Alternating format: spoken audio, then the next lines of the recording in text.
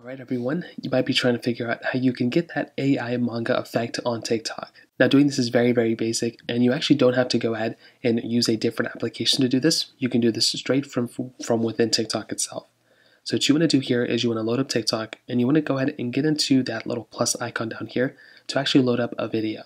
So now what you want to do is before making a video or anything like that, you want to go ahead and click on the little effects button down here and before you get too crazy, you want to go and click on the search button that is right here, and that's going to go ahead and open up this page. Now here is where you can go and start typing in exactly what you want to see. So here what I can do is I can click search, and you want to type in AI manga just like this.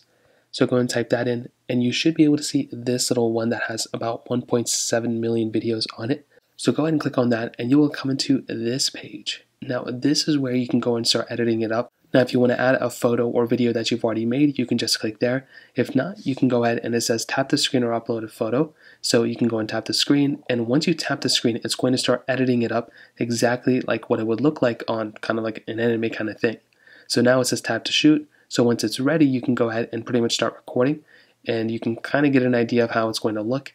Now, in this case, it's not going to look that great, but you can kind of see exactly what's going on. So once you're ready, you are pretty much good to go. You can go and click the check mark and you can see that it's going to go ahead and be that video that you just made.